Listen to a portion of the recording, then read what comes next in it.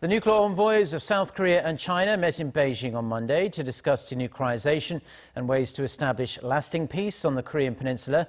Lee Do-hoon, who is Seoul's representative for Korean Peninsula Peace and Security Affairs, and his Chinese counterpart Kong Xuanyou, uh, reaffirmed their goal of Pyongyang's complete denuclearization and permanent peace, as promised by the North during its summits with South Korea and the United States. Now, separately, in a media interview, Seoul's representative mentioned that other pending issues were brought up, including formally ending the Korean War. He added that Seoul and Beijing's views overlap considerably when it comes to North Korea issues.